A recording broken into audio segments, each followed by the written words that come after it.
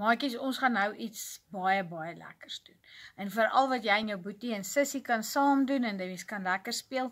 Ons gaan nie borrels blaas vandag nie, maar ons gaan water slange blaas en met skuim slange blaas. Julle gaan kyk. Kan kyk wie se blaas is die langste en wie se vlieg die maklikste. Vandag staan nie wind nie, so dit gaan af, maar as dit mense doen as die wind waai dan vat hy sommer jou uh, water of skuim slang hierdie kant toe.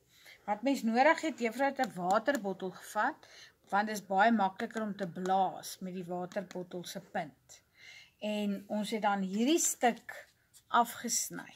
Sommige met die kombuissker. Die onderste deeltjie afgesny. Toe het ek kous gevat sonder maat en ons het hom daar afgesny dat dit net so reguit stukkie is onder die hakkie. En juffrou het hom oorgetrek en ek het sommer twee rekkies aangesit net vir ingeval hy wil afval. So en dan het ons 'n uh, skottel nodig en baie min water.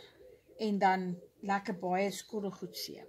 Maar mens moet nie te veel water nie want dan moet mens te veel skottelgoed seep vat en hierdie is oor is genoeg so ons kan lank daarmee speel. En onthou al hierdie goed kan geberre word in 'n houertjie gegooi word en môre kan jy weer aanspeel. So ons druk hom net in, in die water en die seep mengsel. Skit op so 'n bietjie af en dan gaan ons nou blaas en kyk wat gebeur nou.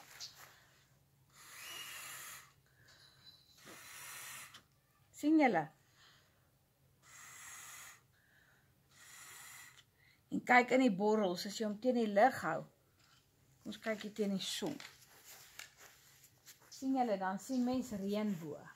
Al hierdie borreltjies is dan eintlik 'n klein reënboogie met die kleure van die reënboog.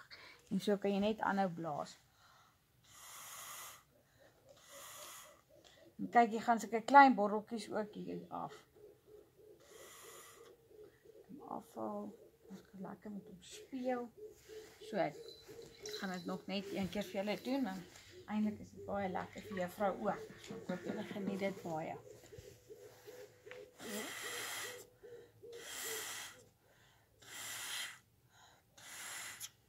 Jy sien tot hierdie reënboogkleure. sien julle dit? So julle kan hoe meer minder water julle vat, hoe meer seep julle vat, hoe langer kan julle julle slange blaas. Ja, sy geniet dit hoor, lekker speel.